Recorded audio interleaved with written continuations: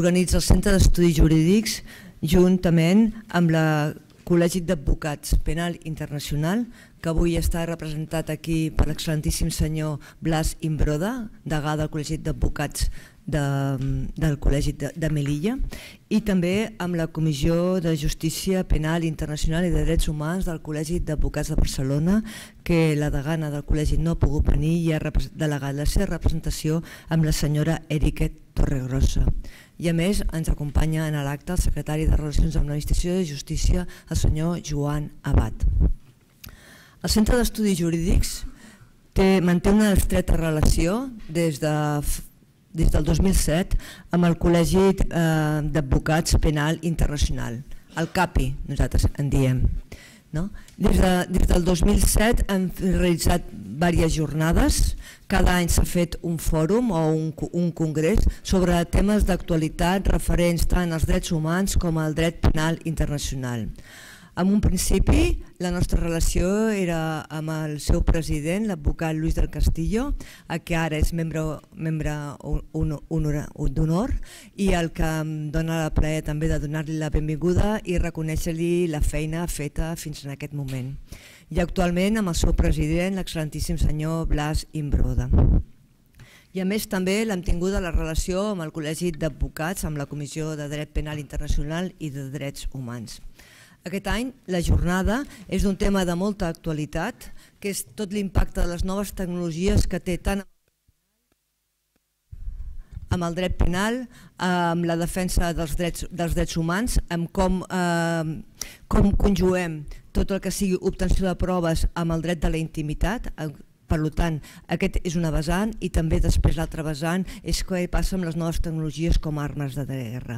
I amb aquest fet ens centrem la temàtica d'aquesta jornada amb els drons, com a mitjà d'obtencions de proves per als tribunals i com a armes de guerra.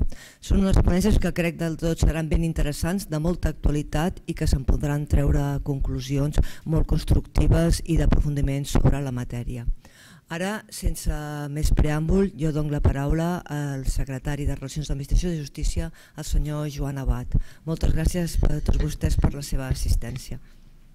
Moltíssimes gràcies, eh, directora. Eh, Núria, un plaer eh, estar present aquí avui i inaugurar eh, la jornada una jornada, primer acollir, eh, acoger eh, el, de nuevo el Colegio de eh, Penal Internacional és un veritable plaer eh, i un orgull, eh, ara lo comentábamos, eh, presidente, de, de, de teneros, eh, de, de, disponer una, de que dispongáis de una sede en el CEGFE, eh, la colaboración eh, con el CEGFE, con el Centro de Estudios Jurídicos, eh, es eh, realmente especializado, es realmente fundamental en cuanto a la creación de ciencia jurídica, eh, la parte de investigación.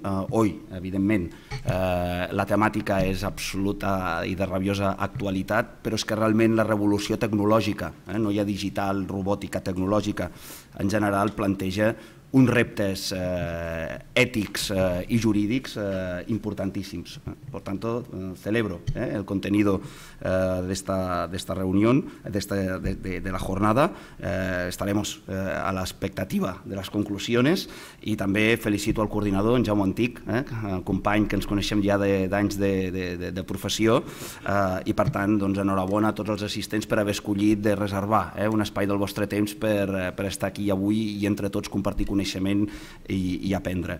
Eh, jo abans de passar eh, la paraula al president eh, i presentar també eh, a, a, a l'Èrica, que està amb nosaltres en representació del, del Col·legi d'Advocats de, de Barcelona, eh, la degana, l'excel·lentíssima degana Eugènia Gai ha excusat l'assistència, li ha estat impossible d'assistir, tot i que la seva voluntat eh, era, era de fer-ho.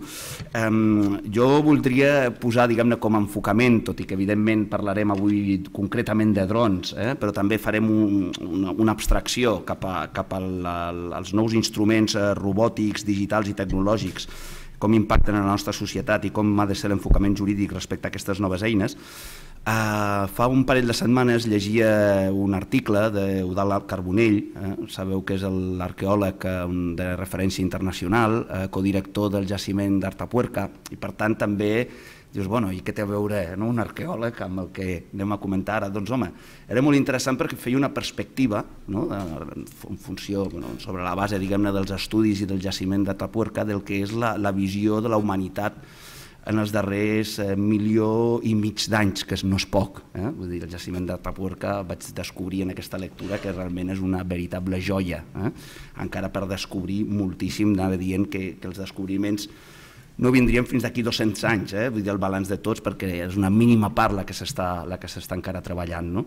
Però anem al que, al que ens interessa i al que ens connecta amb aquesta jornada. No? Ell parlava eh, té un punt de, de, de, de, de, provocar, de provocador sempre, no? el del Carbonell, però parlava, diu, la, diu a finals de segle eh, hi haurà quatre espècies la humanitat es tornarà, ara som una sola espècie, no hi ha hagut èpoques en què els neandertals, homo sapiens, han conviscut diferents espècies de, dins del que seria la, la branca no? de, de, de la humanitat o de l'home com, com a ésser viu o com a ésser animal, diu, tindrem quatre. Diu, els homes eh, editats o les persones editades genèticament a través de la tècnica, els homes modificats genèticament, els homes no modificats, les persones no modificades, i els tíborgs.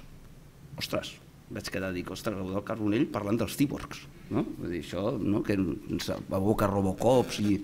No cal anar a Robocop, eh? Robocop és una pel·lícula de ciència-ficció, però sí que és interessant pensar ja més enllà dels instruments i de les eines, com al final en el comportament humà i en la nostra interacció eh, eh com, a, com, a, com a animals socials pot acabar tenint una intervenció enorme la tècnica. Mm? I la tècnica vol dir que la humanitat i l'home cada cop s'ajudarà més eh, d'aquestes tecnologies, de la microrobòtica, per millorar les nostres pròpies prestacions, per millorar la nostra percepció en relació a l'entorn, i en quant a tècnica, que és, també haurem de veure com influeix en el nostre comportament aquesta manipulació tant genètica com robòtica, i com això condicionarà el nostre comportament, i com això també condicionarà el nostre, la nostra responsabilitat o possible responsabilitat penal respecte a uns fets. No? Per tant, eh, jo crec que estem, avui parlarem d'una part eh, d'aquest repte enorme per la ciència jurídica que serà cada vegada distingir millor la responsabilitat de l'individu acompanyat diguem d'aquesta veritable revolució tecnològica tant en qüestió d'eines com en qüestió de la manipulació de les pròpies prestacions, de la pròpia personalitat o de la pròpia identitat de la persona. Uh, si ens fixem amb els robots i amb els drons, més enllà de, de, de, dels aspectes relacionats amb la prova, eh, que això és molt, molt, molt, molt rellevant, eh, tenim alguns aspectes relacionats amb el dron com a eina eh, de guerra que no ens allunya eh, tampoc d'aquesta eh, ja eh, clàssica reflexió, els hi va passar, diguem els primers que ho van experimentar van ser els aviadors, no? perquè eren els primers que s'allunyaven eh, respecte a l'avió com a arma de guerra respecte a la distància en relació, diguem-ne, en el dany, Eh, també eh, vam tenir ja tots els míssils i totes les eines diguem-ne balístiques que també van reflexionar sobre una responsabilitat, si era el programador, si era el creador el que apreta el botó, el que dona l'ordre. Per tant, diguem-ne, això amb els drons eh, no deixarà d'aprofundir eh, entre el que seria la, la, la responsabilitat del pilot i de la logística, del programador, del comandament. Per tant, hem de veure, eh, sobretot quan es produeixen errors eh, en aquestes eines, hem de veure eh, com, com això diguem-ne penalment pot ser, pot ser, pot ser valorat o pot ser jutjat. Però, en definitiva, el repte del, del dret i de la ciència jurídica en relació a, a en aquest ús del dron en el marc de la revolució digital o la revolució robòtica doncs, eh, afecta molts aspectes. Eh? Afecta fonamentalment en relació a la prova o a l'intromissió d'aquestes eines en la nostra vida quotidiana el dret a la intimitat i la privacitat. Jo quan vaig sentir que aviat els drons eh, doncs en poc temps podrien ser del tamany d'un mosquit, hòstia, t'espanta, no? Dius, bueno, un mosquit, tots hem tingut un mosquit a casa, no? Imaginem que aquest, aquest mosquit està per espiar, no? Hòstia, agafa, jo, jo no vull ara fer una, un episodi de Black Mirror, però, però quasi, no? O sigui, seríem capaços. Però sí que realment hi ha qüestions, diguem-ne, molt, molt menys, no cal eh, imaginar, sinó que ja les tenim aquí, l'impacte eh, en el dret internacional públic, tant des del punt de vista de l'organètica civil i de dret espacial, des del punt de vista de dret internacional humanitari, també des del punt de vista de dret públic econòmic, no? com s'ocupa l'espai de radioelèctric eh, per, aquestes, per aquests enginys, com afecta fins i tot el domini públic de l'espai local. Eh? També aquests drons, diguem-ne, no són només avions que volen a milers de quilòmetres d'alçada, sinó que són eh, eines que poden sobrevolar, diguem-ne, per, per sobre dels nostres caps. No? I per tant aquí, no només diguem-ne a nivell d'estats on hi ha una reflexió, sinó que també hi ha una reflexió a nivell de tot el conjunt d'administracions territorials no? que, que, que gestionen la, la col·lectivitat. Evidentment, des del punt de vista de, de dret penal i ja des del punt de vista més militar, com això afecta els convenis de Ginebra de 1949, si són d'aplicació o no són d'aplicació en aquestes ràtzies, no? en aquests debats que ja no, és que és un acte de guerra però no estem en una guerra. Diu, bueno, escolti, miri, eh, és lluita antiterrorista i per tant, clar, jo t'agafava una dada no? de 2004 a 2013 al Pakistan, en aquelles àrees, diguem-ne, tribals federals que li diuen van haver 369 atacs de drons. No? Bueno, si això no és un conflicte bèl·lic, doncs, eh, no ho sé, eh? que, que, que baixi, que baixi, el, que, que baixi l'autoritat i ens ho expliqui. No? Eh, en definitiva, eh, un debat eh, absolutament actual, un debat de futur, evidentment, entre la tècnica, la ètica, la ciència jurídica. Jo crec que disfrutarem, gaudirem molt d'aquesta jornada, aprendrem molt. A mi em sabrà greu no acompanyar-vos tota la jornada perquè se m'ha encabit la presentació eh, enmig d'una agenda horrible, però, però bé, tinc el plaer eh, de, de nuevo de presentar eh, al presidente eh, del CAPI. Eh, insisto, eh, muy contentos de, de, de, de, de teneros aquí, de tenerte aquí, eh, Blas, i també a Èrica, eh, en quant també secretari general de CAPI, representació eh, del, del col·legi de l'il·lustre Col·legi d'Advocats de Barcelona. Eh, simplement, eh, endavant, la jornada és vostra i, i moltes gràcies per la vostra assistència.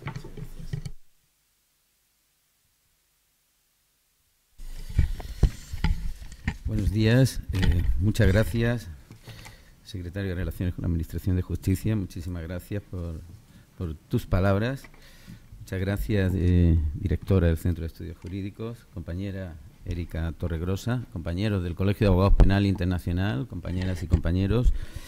Eh, es un placer y un honor estar aquí esta mañana y estar en la inauguración de estas que ya son las 11 jornadas de justicia penal internacional y universal que se celebran en este centro y que se celebran en colaboración entre el Colegio de Abogados Penal Internacional y la Generalitat de Cataluña a través de su Centro de Estudio Jurídico y Formación Especializada. Por eso, en primer lugar, mis primeras palabras de agradecimiento en nombre del Colegio de Abogados Penal Internacional a la, Generalitat y en especial a la Consellería de Justicia y al, y al centro y a la directora y al Centro de Estudios Jurídicos por la colaboración estrecha que siempre tradicionalmente se ha mantenido entre el Colegio de Abogados Penal Internacional y estas importantes instituciones. Muchísimas gracias también por acogernos en este centro magnífico, eh, magnífico eh, centro. Tengo que decir eh, que, mm, bueno, eh, que es una referencia, es una referencia esta ciudad en el ámbito de la justicia penal internacional y es una referencia a nivel de toda España y también es una referencia, una referencia para el mundo. Nosotros, los abogados que hemos sido personas inquietas y, y motivadas eh, y de alguna forma comprometidas con el ámbito del derecho penal internacional y con la justicia penal internacional, para todos nosotros, para todos, Barcelona ha sido una referencia, siempre. Así que eh, de aquí nace el, embrión de lo que luego ha sido la abogacía española que hemos eh, estado eh, implicados en el ámbito de la justicia penal internacional merece la pena, por supuesto, siempre, porque además es un inmenso honor y hay que reconocerlo, porque una referencia a nivel nacional, a nivel de toda España, y también una referencia nacional, el decano del Colegio de Abogados, Luis del Castillo, que ya presidió el Colegio de Abogados Penal Internacional. De él, como yo decía esta mañana la directora, todos somos discípulos, todos somos hijos de Luis en el ámbito de la justicia penal, en el ámbito de la justicia eh, penal internacional. Y aquí también una referencia ha sido siempre la Comisión eh, de Derecho Penal Internacional y de Derechos Humanos del Colegio de Abogados de Barcelona, que hay muchos compañeros, Erika, Jauma, Javier, David, muchos compañeros que eh, son también una referencia y un motor en el Colegio de Abogados Penal Internacional. Así que muchas gracias, un honor estar, un honor estar aquí. Tengo que decir también, eh, quiero dar una expresa bienvenida a Santiago, al profesor de la, de, de la Universidad de Tarragona, que dirige, que es el director del máster, un extraordinario, un excelente máster en materia de justicia penal internacional, que eminentemente práctico, con muchísimos profesores también de la propia Corte Penal Internacional, que trabajan en las distintas divisiones de la Corte Penal Internacional, de la Fiscalía, y que culminará además con una eh, presencia allí en la Corte Penal Internacional y que va a ser, y que es un máster único y referencia ahora mismo en el mundo, y no hay eh, con tal formato práctico, y, en esto eh, que hacemos, eh, eh, que trabajamos conjuntamente en la universidad y el Colegio de Abogados Penal Internacional tiene un papel absolutamente relevante el director de la Cátedra Tarragona Smart Mediterránea City, que es el profesor doctor Santiago Castellán. Muchísimas gracias eh, también. La jornada, después de lo que ha comentado el secretario de Relaciones con la Administración de Justicia y de la directora del centro, poco más hay que decir. Son absolutamente apasionantes, interesantes y de una actualidad absoluta en el mundo. En muchos casos, lamentablemente, de una actualidad absoluta. Sí, yo quiero hacer una referencia eh, también porque al ámbito de la justicia penal internacional brevemente. Hoy celebramos el hoy 17 de julio del año 2018 celebramos el Día de la Justicia Penal Internacional en todo el mundo y hoy además se celebra el 20 aniversario de la creación de la Corte Penal Internacional. En efecto, el 17 de julio del año 1998, eh, en Roma se reúnen, eh, se organiza la reunión internacional que culmina, la conferencia internacional que culmina con la aprobación del tratado, conocido como Tratado de Roma, que crea el Estatuto de la Corte Penal Internacional. Hoy se cumplen 20 años. La Corte Penal Internacional entró en funcionamiento, el tratado entró en vigor el 1 de julio del año 2002, después de la, de la ratificación de 60 estados, que era, era eh, el requisito para la entrada en vigor. 20 años desde la creación, la aprobación del estatuto, poco más de eh, casi 16 años desde que entra en vigor, aunque empezó a funcionar ya la Corte como tal el 1 de enero del año, 2000, del año 2003. Casi 16 años de funcionamiento. Hoy es un día para hacer una reflexión también sobre la justicia penal internacional. Y, y en esta reflexión decir que la justicia, la Corte Penal Internacional, el Estatuto de Roma fue uno de los grandes pasos en la historia del derecho y en la historia del derecho penal y permítanme también decir en la historia de la humanidad algo absolutamente impensable, pero una aspiración histórica, fue tener un tribunal penal internacional permanente con vocación universal y también con la nota de la independencia. Y por fin se consiguió con la Corte eh, Penal Internacional. Como ustedes saben, hasta entonces han sido tribunales ad hoc creados, tribunales penales internacionales, para resolver cuestiones concretas con un periodo temporal concreto, como ocurrió con el Tribunal de la Yugoslavia, como ocurrió con el, eh, con el Tribunal para juzgar los crímenes terribles que se cometieron en Ruanda. Hoy, por fin, tenemos un tribunal permanente, internacional, como decía, independiente, con vocación universal, en el que actualmente son 123 estados partes, que es un número muy, muy importante, estados todos muy importantes, por supuesto, los que forman, eh, eh, integran eh, la Asamblea Estados parte, que la que sostiene la Corte Penal, la que sostiene la Corte Penal Internacional. Por fin tenemos un tribunal que tiene dos funciones esenciales. Una, evitar definitivamente que haya impunidad ante los más execrables crímenes internacionales, juzga, la Corte Penal Internacional, como ustedes saben, crímenes de genocidio, de lesa humanidad, crímenes de guerra y muy próximamente crímenes eh, de agresión. Algo que ha sido histórico, que es la impunidad amparada en los privilegios de la inmunidad de los máximos responsables de los estados, etcétera, algo fue eso fue completamente superado con la Corte Penal Internacional. Y por tanto tenemos que estar de enhorabuena, pero es un tribunal absolutamente irreversible y esto ya es una realidad conseguida que, no tiene marcha, eh, que no tiene marcha atrás. Lo que sí tiene es marcha hacia adelante. Es decir, lo que hay que mirar es al futuro, porque la Corte Penal Internacional sí es necesario que haga avances en determinados, en determinados aspectos. Uno esencial y desde aquí, desde el Colegio de Abogados Penal Internacional, alzamos una voz permanentemente y a toda la sociedad internacional para que todos los estados sean parte de la Corte Penal Internacional. No 123, que son muchos y muy importantes, sino que lo sean todos los estados y sean estados partes de la Corte Penal Internacional. También alzamos una voz para que haya cooperación por parte de los Estados con la Corte Penal Internacional, lo cual es absolutamente indispensable para su funcionamiento, para las investigaciones en la cooperación eh, de los Estados con la Corte Penal eh, Internacional. Han sido casi 16 años, la Corte ya tiene un recorrido. 16 eh, años podríamos decir que es poco tiempo para hacer una reflexión un análisis de un tribunal. la directora es magistrada.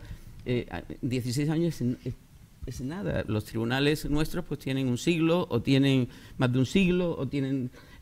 hablamos para a la hora de reflexionar sobre el funcionamiento de 16 años, pero sí hay que hacer una reflexión, hay que parar y decir qué cosas deben eh, mejorar y qué cosas, eh, en qué cosas hay que avanzar en el ámbito de la justicia penal internacional, en el ámbito, en el ámbito de la Corte, eh, de la Corte Penal Internacional.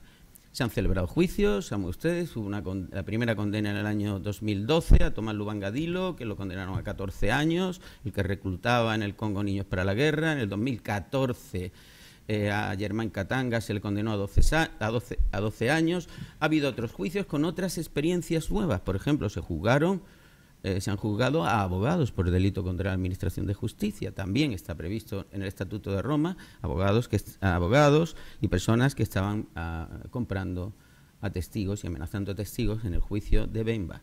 También se condenó a Bemba, también ha sido absuelto Bemba luego posteriormente en un recurso de apelación por el funcionamiento propio de la Corte bueno, nos llevamos una sorpresa, pero es el funcionamiento normal y natural de los tribunales y de los tribunales penales en los que, bueno, pues se puede discrepar internamente y los jueces pueden tener otros criterios en determinadas salas, en las salas de en las salas, las salas de apelaciones. Se vivió un primer caso eh, también el, supuesto Abu Tarab, el que eh, destruyó los mausoleos en, en Tumbuctú y aceptó la, la, pena al principio, es decir, experiencias nuevas para la Corte eh, para la Corte Penal Internacional. Voy finalizando porque si no podría estar la mañana. Y yo soy un entusiasta del ámbito de la justicia penal internacional y no, y no me controla, así que discúlpenme. Eh, sí quiero acabar con una reflexión. La Corte Penal Internacional tiene que hacer, tiene que replantear algunas cuestiones. Por ejemplo, algo esencial, que eso siempre reclamamos a los tribunales, pero la Corte Penal Internacional lo tiene que hacer, muy difícil y muy complejo, la celeridad y la agilidad. Siempre queremos una justicia ágil y con la máxima celeridad. Y siempre decimos que una justicia que se alenta no es justicia.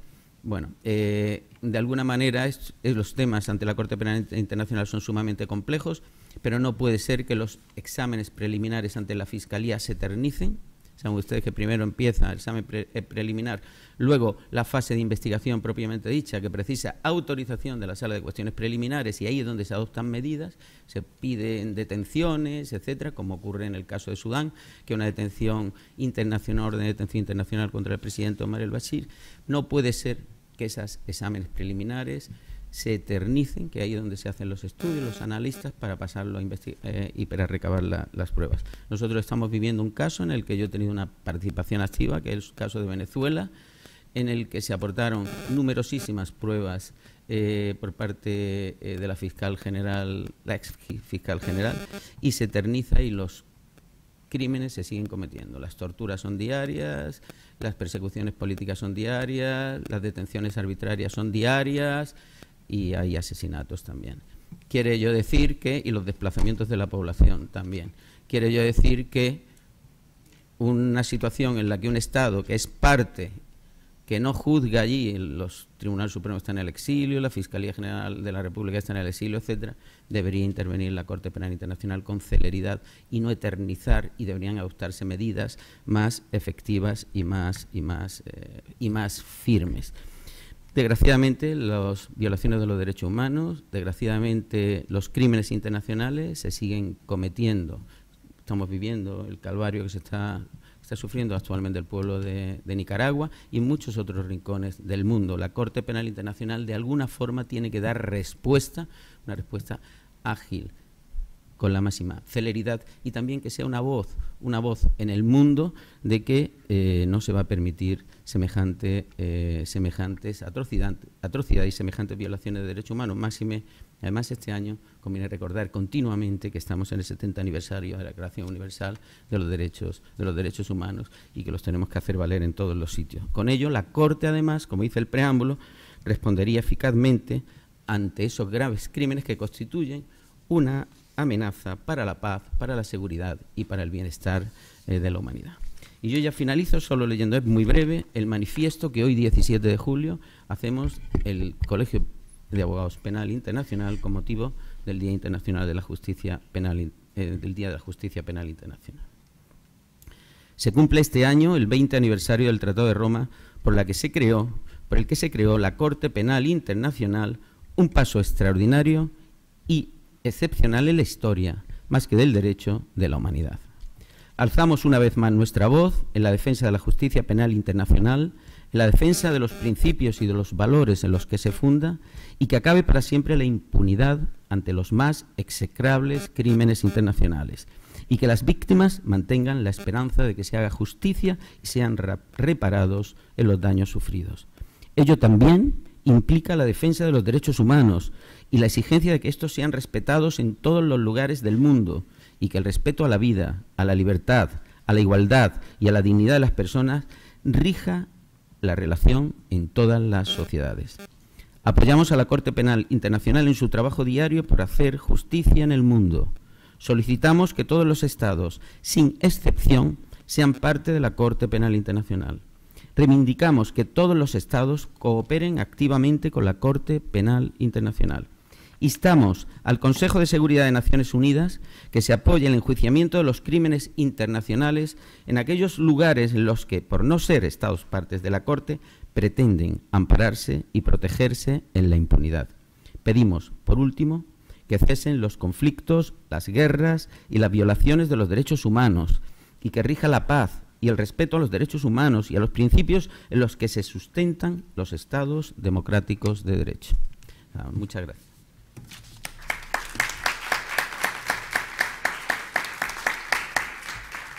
Muchas, muchas gracias, presidente, eh, por recordarnos en el Día Justicia, Día de la Justicia Penal Internacional, el, papel em, de la Corte Penal Internacional, mm, la relevancia de esta institución y, esta reivindicación al respeto de los derechos humanos, que, al final es, el bien, es lo que nos define eh, como, como humanidad, precisamente, y como civilización.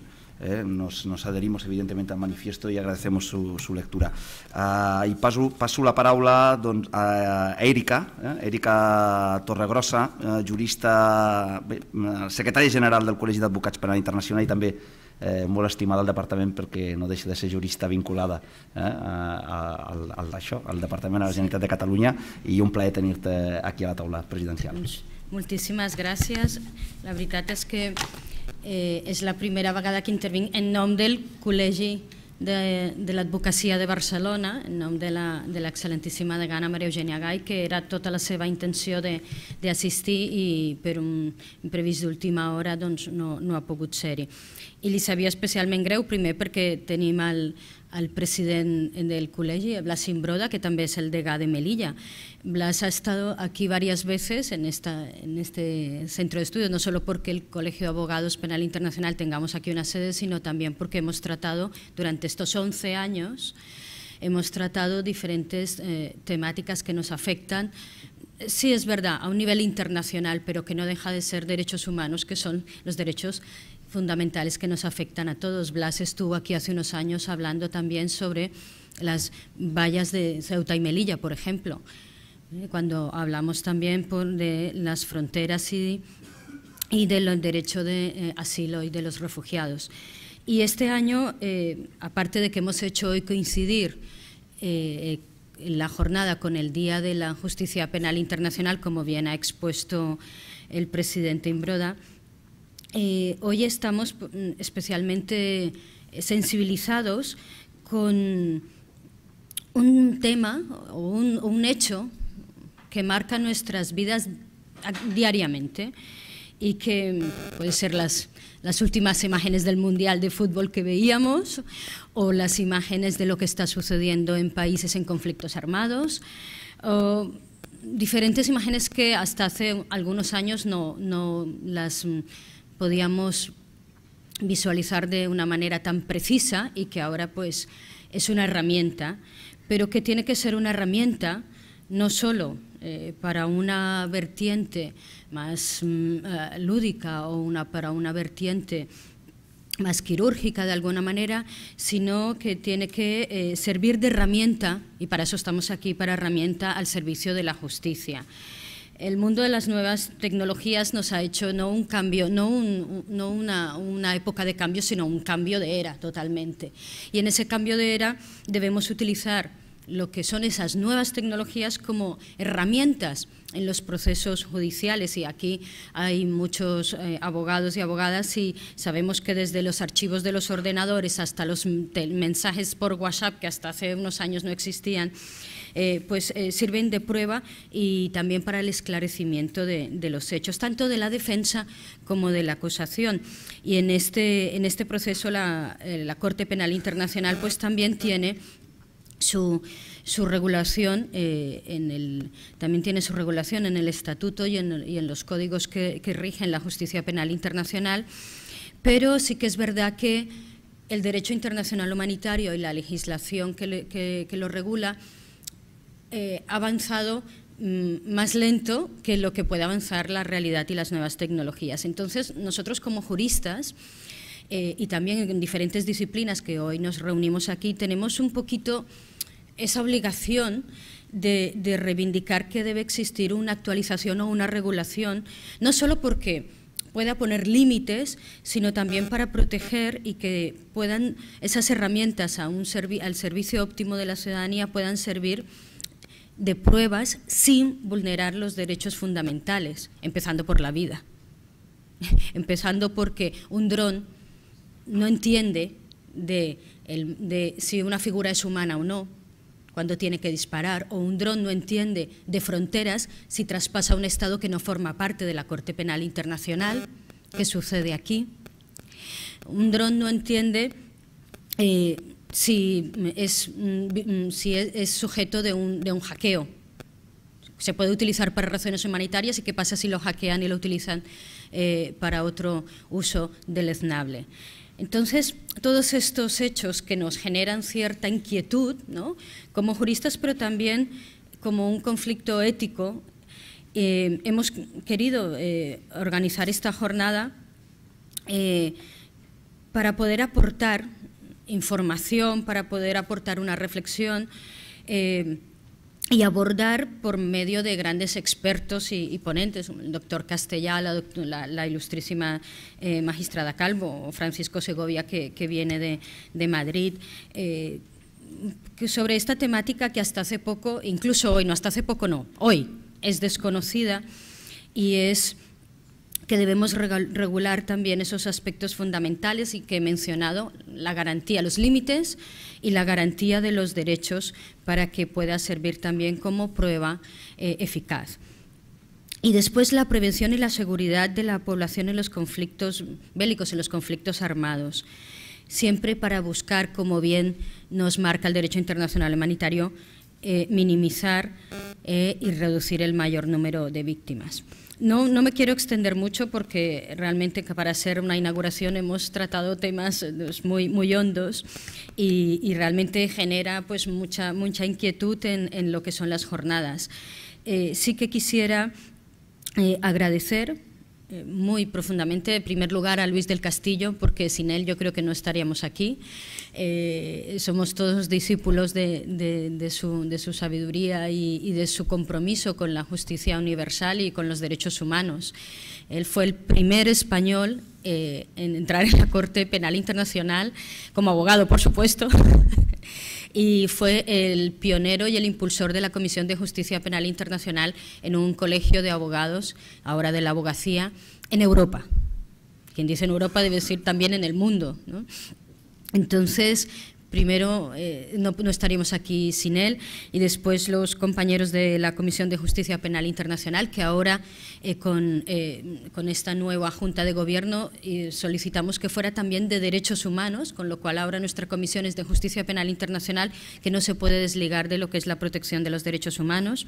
Los compañeros, el coordinador de la jornada, Jaume Antic y sobre todo Laura Bericat, la secretaria técnica del Colegio Penal Internacional, porque si, sin Luis no estaríamos aquí, sin Laura no estaríamos hoy en la jornada tampoco. Muchísimas gracias y, y, sigamos, sigamos como decía eh, Blas, alzando la voz, porque por muy poquito que podamos hacer, siempre será mucho para poder, en primer lugar, proteger los derechos humanos y, en segundo lugar, para avanzar en una justicia y en una lucha por la impunidad. Así que buenas jornadas y muchas gracias.